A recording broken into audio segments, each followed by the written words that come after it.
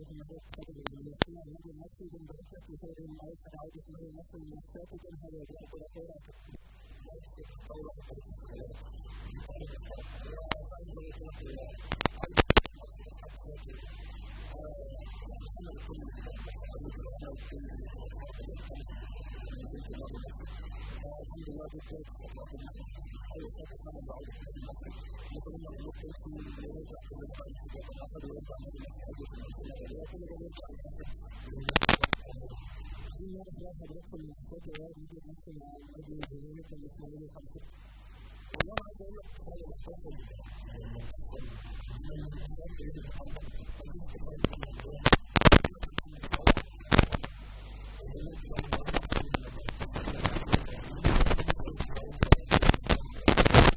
بالنسبة للملعب يا فندم هل حضرت حض- حضراتكم حددتوا الملعب اللي هتلعبوا عليه؟ وهل حق لو ملعب بورسعيد هل في تنسيق مع مديرية الأمن؟ لا أعتقد بنسبة كبيرة خلاص آه، الناس السادة المسؤولين في اتحاد الكورة أعتقد وصلوا للقرار إن إحنا نلعب في استاد الجيش الثالث في السويس في بور توفيق.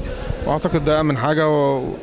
وبالتالي يعني هيبقى المباراتين رايح جاي هيبقى في السويس نظرا للظروف ال- ال- اللي فيها النادي المصري. فعشان هيبقى صعب التأمين إن إحنا نسافر ونروح ونيجي. فأعتقد إن إحنا نبقى في السويس إن شاء الله يعني. طب يا فندم في الب... يعني هو في, في بداية الم... ال- القرعة تم إبعاد النادي الأهلي عن النادي المصري. طب ماذا لو تأهل الفرقتين للدورة الرباعية؟ إن شاء الله بس خلينا نبدأ وبعد كده لما نوصل للدور الرباعي ربنا ييسر تتحل إن شاء الله. بس أنا يعني أنا أنا عن نفسي أنا أقول لك أنا عن نفسي ك ك كراجل مسؤول في النادي المصري أنا مش عايز أظهر السنة دي مستفز بصراحة يعني مش عايز أقول لك إن أنا هاخد بطولة أو إن أنا هبقى في المربع الذهبي أنا عايز أكون في المنطقة الدافئه ده بالنسبة لي بطولة عشان برضو ما اكون أكون صريح معاك ومع نفسي عودة النادي المصري وإن هو يبقى موجود في المنطقة الدافئه ده في حد ذاته بطولة و... وده بالنسبة لنا إنجاز يعني. كلمة لجماهير الكرة المصرية يا فندم مع انطلاق مع قرب انطلاق منافسات الدوري.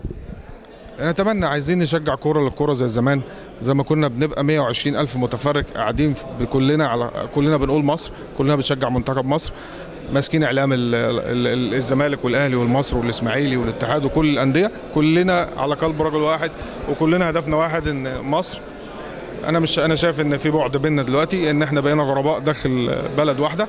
نتمنى كلنا نرجع لبعض ونشجع كرة للكوره وننبذ التعصب والفكر ال- الدخيل علينا العنف والحاجات دي المفروض بقى وإلا بقى أدينا شفنا يعني راح مننا أكتر من 100 واحد وبيروح مننا شباب في عمر الظهور فالمفروض بقى إن إحنا خلاص ننبذ كل ده والفترة دي بقى ننساها ونرجع تاني لبعض كلنا شكرا جزيلا بالتوفيق للنادي المصري. ربنا يخليك.